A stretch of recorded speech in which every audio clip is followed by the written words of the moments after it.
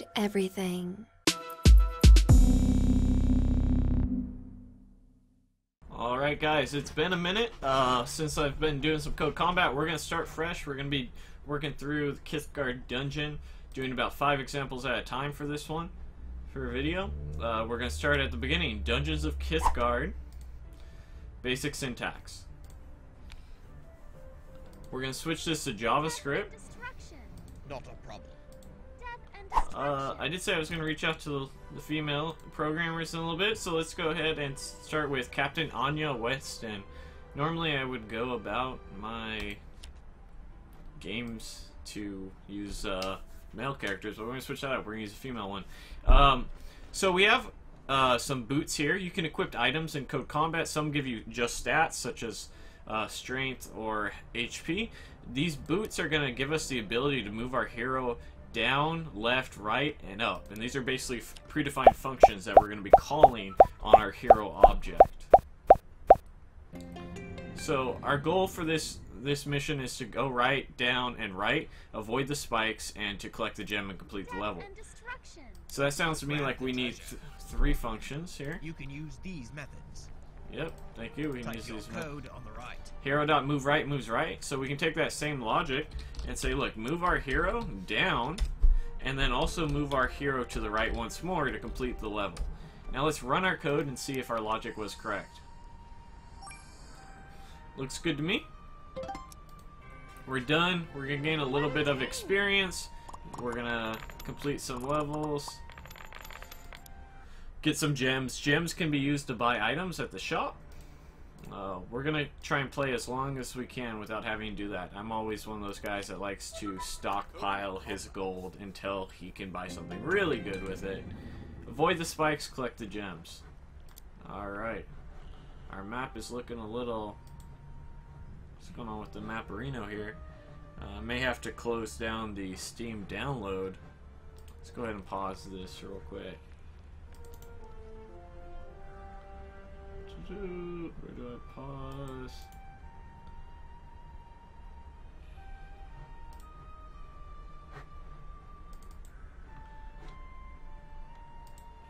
Type a move down command on line 4. Alright, there we go.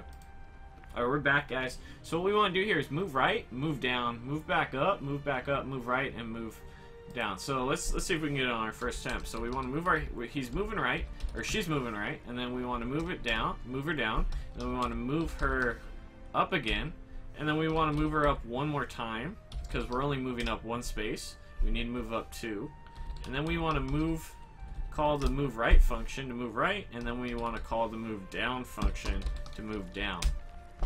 Now when we run this, we I believe we should be good. So hero dot move down once Move up twice. Move up. Move up. Move right. And then move down. And we're done. Cool. Let's continue on. We got our gems. We got our experience. Shadow Guard. Let's continue straight forward. Onward and upward. Uh, we don't want the ogre to see us, so we want to go around instead of straight across. Um, should be pretty straightforward. We're just moving right, then moving up. Hero dot move right. Hero dot move down. So we should be right here now. And then we're gonna go ahead and say hero dot move right one more time. And I believe that should be it. So we're gonna move right, move up. The statue is blocking the view so they don't see us. Move right, move down, and we're done. It's more about thinking about how to problem solve than uh, how the functions work. Sometimes you just need to understand what the functions do and how you're going to be able to solve that. Go ahead and answer these. Every day they have a new thing on here about um, daily quizzes or whatever. Uh, it's really just metadata gathering, which helps them out, so I don't mind doing it. This is everything we're going to be doing is completely free.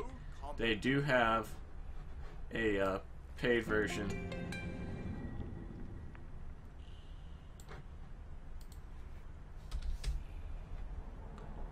I do have a paid version. Or they, they do have a paid version, rather. Alright, so your hero must survive.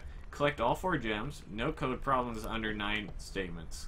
So, statement 1, statement 2, statement 3, statement 4, statement 5, statement 6, Statement 7, Statement 8.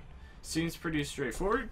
Again, this is more about understanding what we can do with these functions and how to solve problem solve.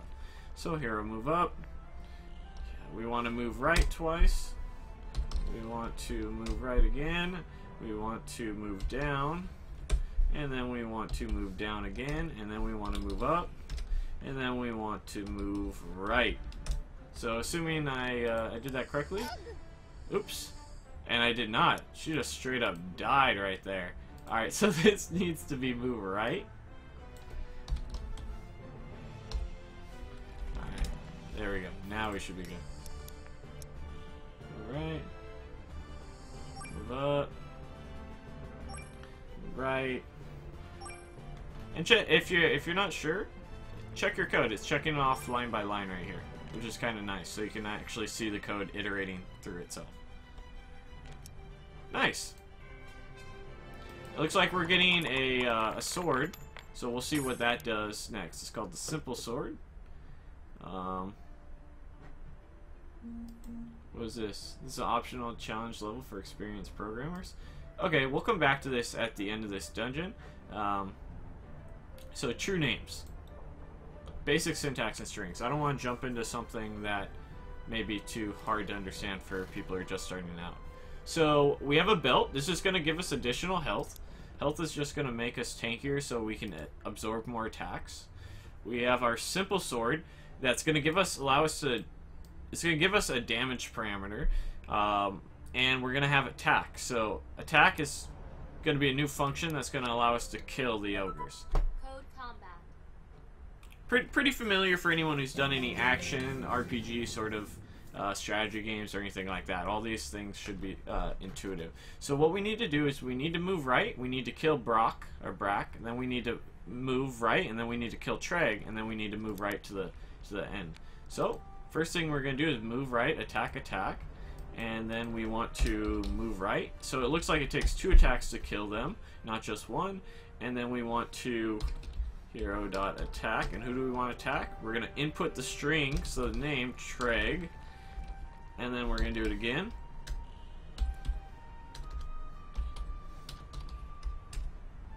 And we'll do Treg here as well.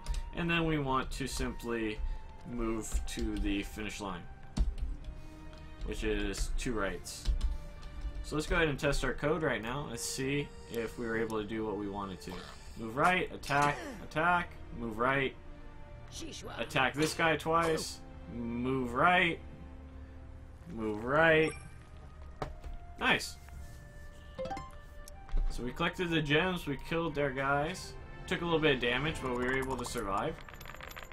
We're the combo breaker. We finished uh, five sections.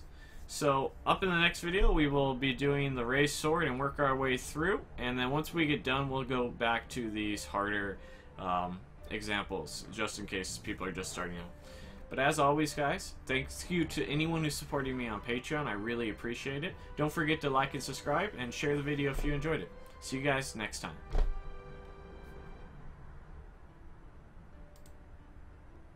Do do do do do do do do do do do do do